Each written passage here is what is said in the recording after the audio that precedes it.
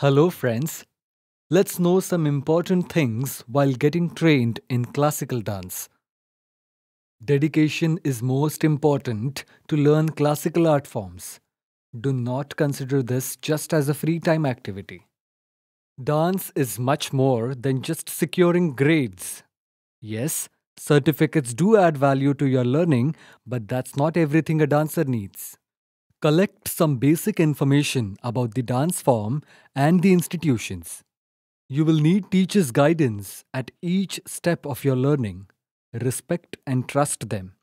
Understand that respecting is not just offering flowers or singing their glory, but implementing and carrying forward the good values they teach us. Your dance class is just like your high school.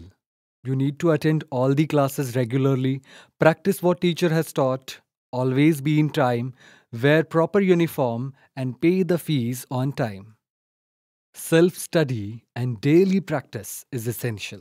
Just attending dance sessions twice a week will not give you perfection.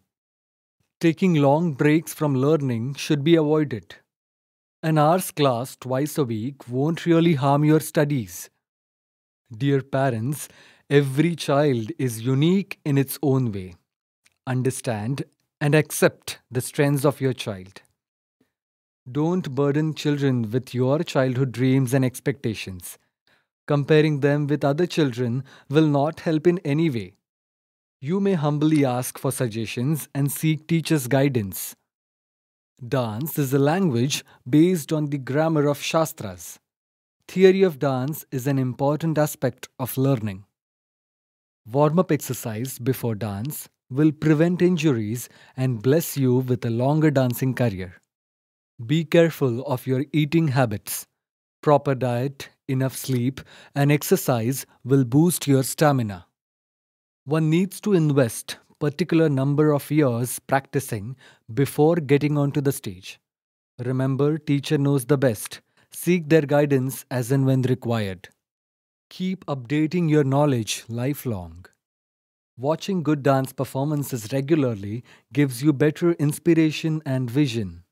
There is a difference between performing and teaching. Be well prepared before taking the responsibility of teaching.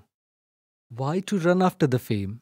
Hard work in a proper direction leads to success and fame. The sole purpose behind learning, practicing, performing, or teaching dance should be happiness. Hope this was a food for thought. Share with your friends and spread the happiness.